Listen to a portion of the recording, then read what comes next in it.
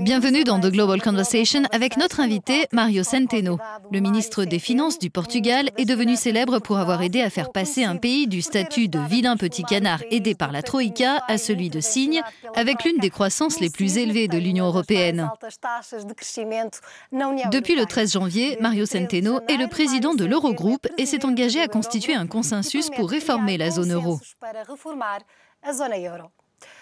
Monsieur le Président de l'Eurogroupe, merci d'avoir accepté l'invitation d'Euronews. L'exemple du Portugal et de sa politique d'austérité adoucie est-il admis de tous ou devez-vous encore faire des efforts pour convaincre les pays les plus orthodoxes comme les Pays-Bas, la Finlande ou l'Allemagne? Le Portugal est un succès au sein de l'Europe. Mes amis économistes le surnomment le chouchou de l'Europe. Nous sommes leaders en matière de croissance et de réduction du chômage.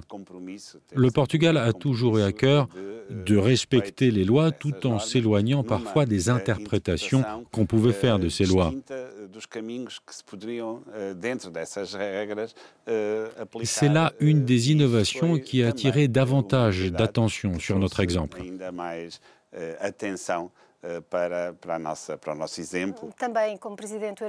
En tant que président de l'Eurogroupe, vous avez évoqué les élections, que ce soit en France ou aux Pays-Bas.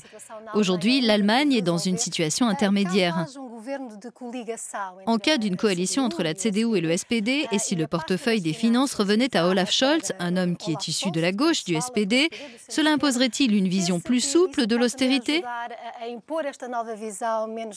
Je parle d'une vision proche de celle du président Emmanuel Macron qui souhaite renforcer la solidarité européenne et l'investissement public. Depuis que je suis président de l'Eurogroupe, nous avons travaillé de manière constructive avec le gouvernement allemand. La reprise du processus d'intégration du système bancaire est cruciale et profite de l'excellente conjoncture économique qui touche les pays européens aujourd'hui. Le cycle politique que vous évoquez nous est lui aussi favorable. Je ne pense pas qu'on puisse douter du compromis que l'Allemagne va apporter à ce processus qui entre dans une nouvelle phase. Parlons, si vous voulez bien, de la réforme de l'euro qui a deux objectifs clairs. Aller jusqu'au bout de l'intégration bancaire et réformer le mécanisme européen de stabilité. Du point de vue des banques, la question est de savoir si les pays veulent ou non partager les risques en créant un compte de dépôt de garantie pour mieux protéger les contribuables dans le cas d'une nouvelle crise. Cette réforme est très importante pour garantir à tous les Européens que dans l'éventualité d'une nouvelle crise, le système financier européen se révélerait mieux préparé mieux équipés et plus robustes.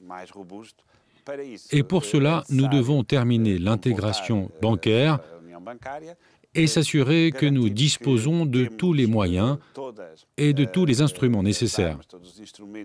De notre expérience quotidienne, on voit bien que pour faire vivre l'Union, on doit toujours renforcer les liens de confiance qui nous unissent et les garanties mutuelles que nous nous offrons.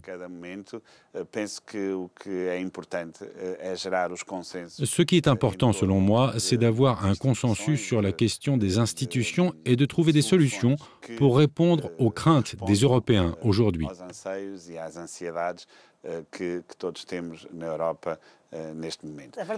Le fait est que les entrepreneurs et les contribuables se plaignent du manque de résultats concrets dans l'économie, comme par exemple pour obtenir des crédits, améliorer la qualité de vie ou créer des emplois.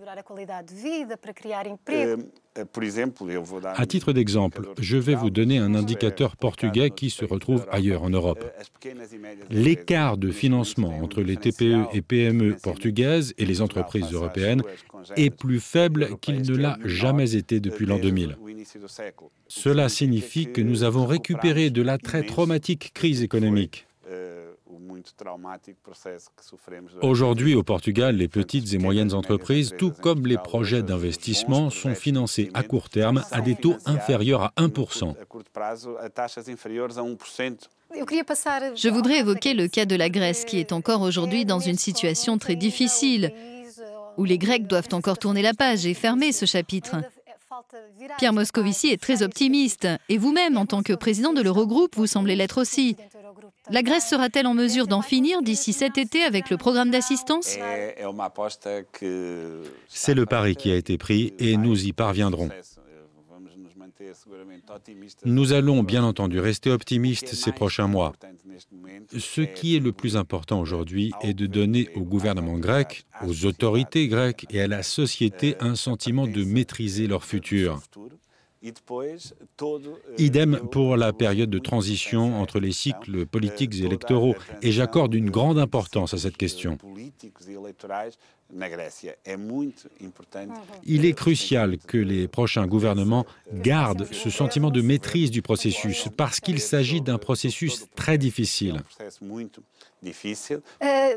Concernant le budget, la Commission européenne va formuler des propositions pour la période 2020-2026, au moment où le Royaume-Uni ne sera plus contributeur.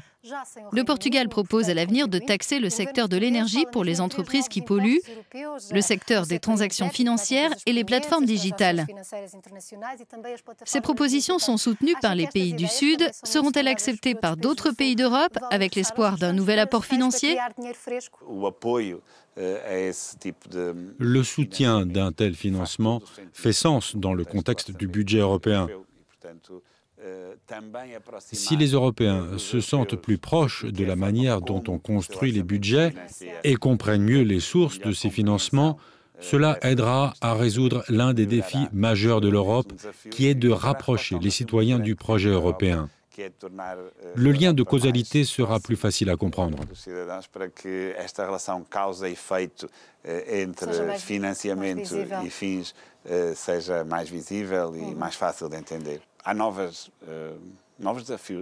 L'Europe fait face à de nouveaux défis. La sécurité, la défense, les migrations et les défis démographiques sont des questions communes à toutes les sociétés et tous les pays européens. Des questions qui pourraient être traitées de façon plus efficace à un niveau européen.